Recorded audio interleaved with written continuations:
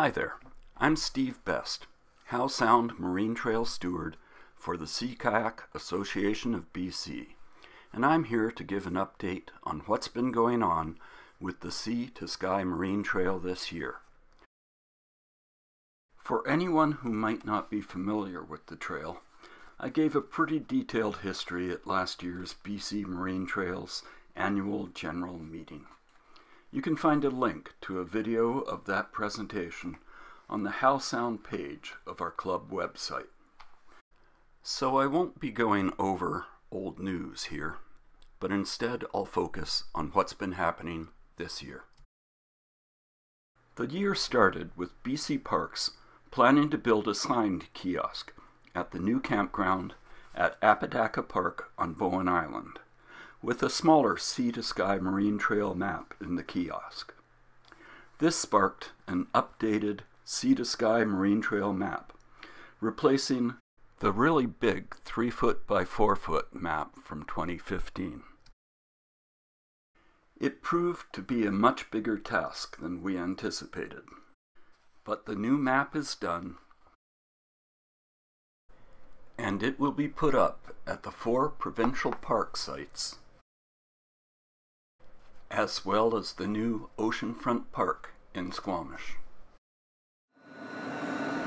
Back in early 2023, SCA-BC purchased enough yellow cedar for five tent platforms and stored it at the Recreation Sites and Trails Yard in Squamish.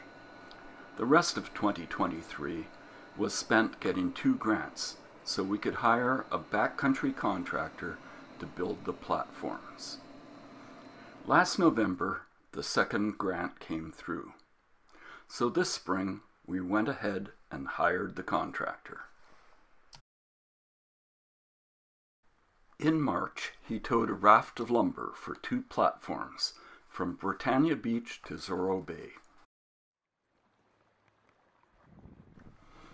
where he and his crew built the platforms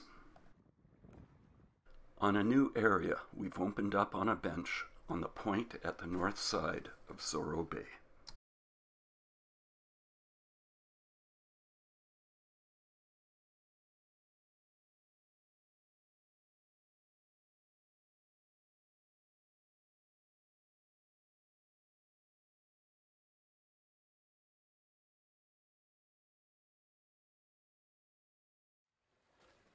At the same time, he added a guardrail to the stair on the access trail that an RSTBC trail crew had built the previous summer.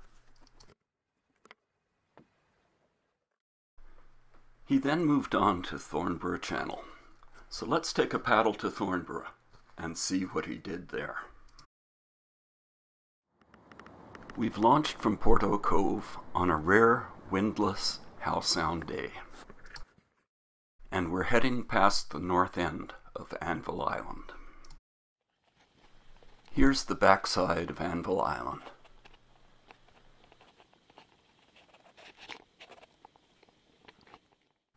And the Thornborough Channel Recreation Site is just around the point ahead.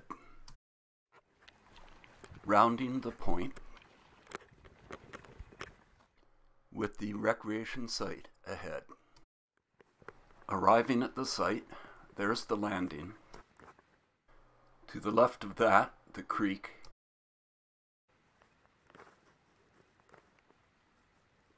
There's the first tent platform we built here in 2020 on the high rock bluff. And here's the new area we've opened up on the rocks just above the water, below the high rock bluff. With one two, three new tent platforms, plus a second picnic table. Just past the creek, a new trail leads off to the left.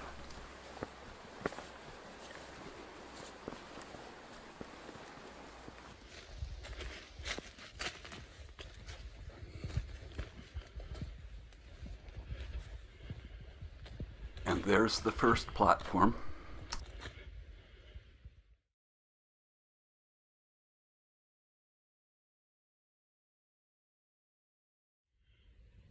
A short scramble up the rocks leads to the second platform.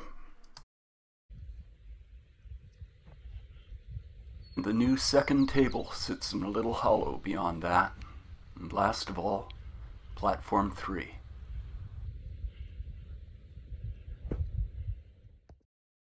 Nestled between the trees.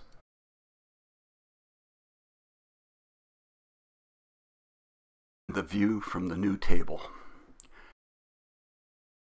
When we brought a new staff member from RSTBC here, his reaction was, You should keep this secret. In May, Philip Kubik, site steward for the Bain Creek Rec Recreation Site, led a work party to the site by kayak. Together with volunteers Nick Heath, Ken Bigelow, and Jordan Rosenfeld, they cleared rocks from a beach to create a new boat run at the east end of the site.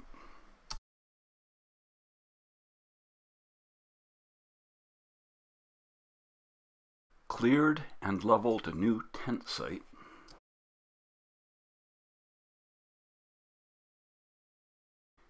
Enlarged an existing tent site.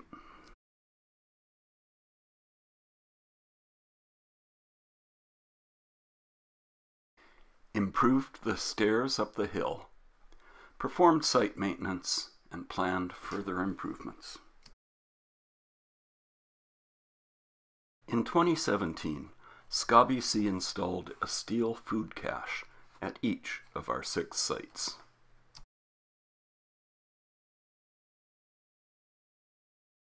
Now, six years later, they were badly rusting out. In the summer of 2024, we went ahead with the second part of our grant project, replacing the rusting steel caches with new aluminum ones. Our grant application was based on seven new caches, two at Thornborough and one at each of our other sites.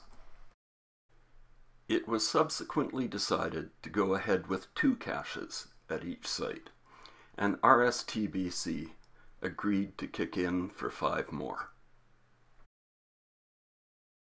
Over the course of the summer, 12 aluminum food caches were purchased from a fabricator in Powell River, shipped to Gibsons,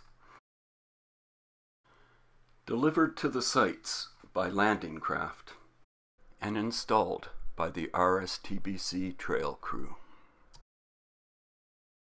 Here are the two new food caches at Ramillies Channel. Here's the first one at Thornborough Channel.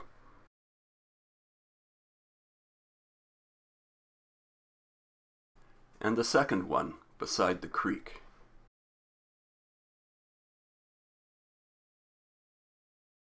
Here are two at Islet View.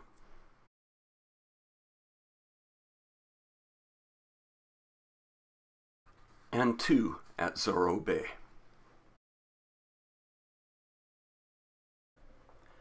One of the signposts at Ramillies Channel had rotted through below ground and fallen over. In August, Nick and I went over in his powerboat and installed a new yellow cedar post. All the signposts were installed in 2015. This is the first post to rot through, so we may be looking at replacing all of them in the near future. Nick and I had time left over, so we scrounged a cedar retaining log off the beach and leveled a good-sized tent pad on the terrace.